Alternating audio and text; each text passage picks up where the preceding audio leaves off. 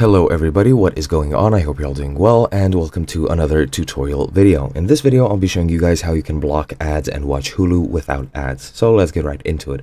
First and foremost, Hulu is a online subscription based service for streaming videos such as movies, series, shows, etc., etc. It is similar to Netflix and it is currently only available in the US due to licensing issues. Uh, however, you can watch it globally with the use of a VPN. Now, as with any subscription service, or even as with some free services, uh, you will have a lot of ads depending on your package. You can uh, select a package without ads once you're choosing a subscription. However, most subs subscriptions have ads with them.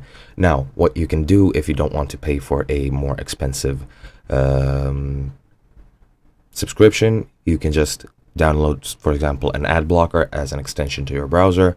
Uh, for example, on Chrome or on Opera, you can get AdBlock Plus, AdBlock, uBlock Origin, etc., etc. That is one way of doing it. Uh, another way is to use a browser which automatically blocks ads, such as Opera and Opera GX, Microsoft Edge, Mozilla Firefox, Brave, and so on and so forth. You can also use third-party apps to block ads, uh, such as AdLock and AdAway. Uh, you can reload your Hulu TV show you can open up Hulu into browser tabs. These are more complex and I don't know really how to do them, so I won't be doing that. And as I said here, you have subscription plans which do not include ads, such as Hulu No Ads.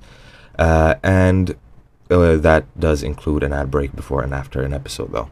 Now, uh, you can get uh, any of these that doesn't have ads, such as Hulu No Ads plus Live TV, and so on and so forth. And yeah, that's pretty much it. I hope you guys enjoyed, and I'll be seeing you guys next time.